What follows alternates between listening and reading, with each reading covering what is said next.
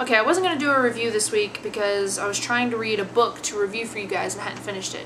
But then I decided, you know what, I'm not going to skip a review because that's just not Gina. So I dug through my Beatles shelf and I found this film, this little gem. There's a place for us movies, you just gotta lay around. Give my regards to Broad Street with this mug on the front of it. Woo! This film came out in 1984. It's 108 minutes long, and basically it's 108 minutes of Paul McCartney looking much like he does on the box toward or slightly off camera.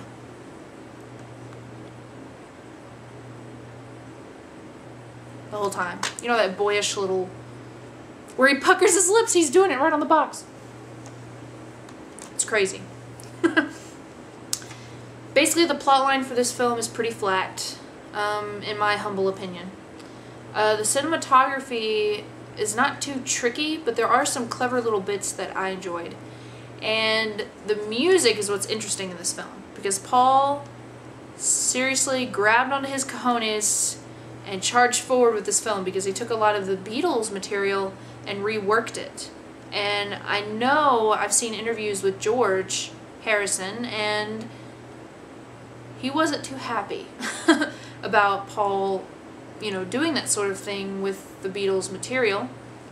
And it's not exactly super spectacular in my mind. Uh, I more enjoy the original songs in the film, such as No More Lonely Nights is in the film, but the 10 minute Eleanor Rigby, it's good, it's it's phenomenal, you know, songwriting and such, but I don't know.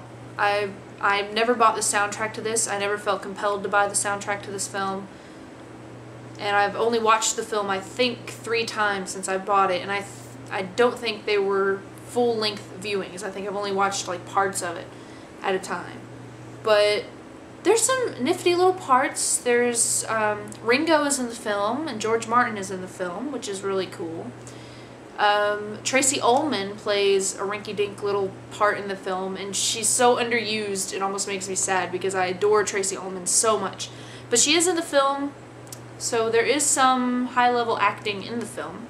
I can't say Paul does much of the high-level acting in the film, but he's so great. I mean, basically how Magical Mystery Tour was sort of a drivel that didn't make much sense Give My Regards to Broad Street is sort of Paul's attempt to make a film that does make sense, although the plotline is absolutely horrific. And the ending just makes you go, what? Like, I'm not going to spoil it for you, but not the best piece of filmmaking I've ever seen.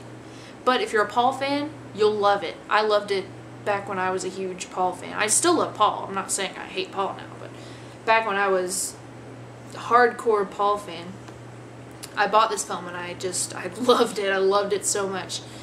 And it's an interesting film. If you like Paul, if you like Ringo, there's, you know, a lot of little Ringo in here.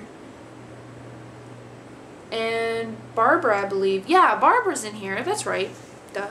She plays a newspaper reporter, and her and Ringo have cute little scenes, and it's so cute because it's Barbara and Ringo. And of course, Linda Linda McCartney's in here. Duh.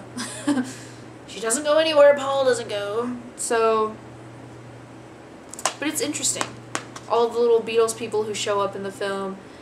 And it's kind of cute. But other than that, I'm not telling you, as a Beatles fan, you have to own this film. As a Paul fan, I highly recommend it. If you like Ringo, he has some cute little parts in the film. But it's mostly 108 minutes of Paul. Just being honest. So there you go. Give my regards to Broad Street. If I had to give it a number out of five stars, I would give it a two and a half out of five stars for cinematography value. For Paul value, it's five out of five stars because it's Paul. It's just, it's just Paul.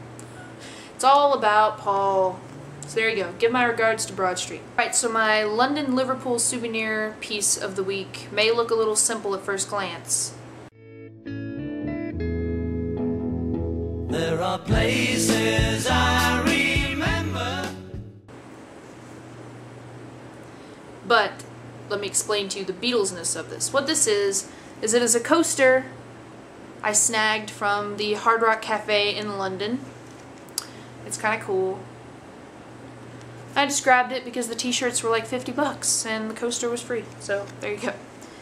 But the Beatlesness of it, they had a couple of guitars and I think jackets in the Hard Rock Cafe, but it was so packed and crammed full of people, we could hardly get in there.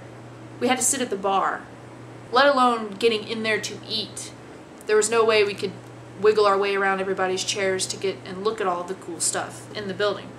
But across the street in the Hard Rock Cafe gift shop, they have this thing called the vault underneath the gift shop, which actually is where the royal jewels. Yeah, it's where they used to be held. But now it holds a bunch of rock and roll memorabilia and they lead tours down there and they let you take pictures of everything. So, some of the Beatles related things that were in the vault, uh, they had John Lennon's original lyrics to Instant Karma down there. And they're really cool to look at because you can see how horrible John's typing skills were and all his little edits and scribbles and things. It was pretty cool. Um, also, they had four contracts signed by each of the boys. John, George, Paul, R. Starkey. Who's that? Ringo. Those were four stock transfer forms dated July 30th, 1969, authorizing the transfer of 735 shares of NEM stock, each signed and dated by a Beatle. They were signed during the recording of the Abbey Road LP, summer of 1969. Then they also had this harpsichord, which is what Lucy in the Sky with Diamonds and All You Need Is Love was written on. It's down in the vault. Then they also have one of John Lennon's army jackets. This was probably the fourth one we had seen throughout all the museums and memorabilia collections all through London and Liverpool. So I don't know how many of these jackets John had, but according to these museums, which all claim they have the real one, he had like 12. They also had a pair of John Lennon's glasses, same story. There's like 50 pairs of those things in various museums and collections around the world.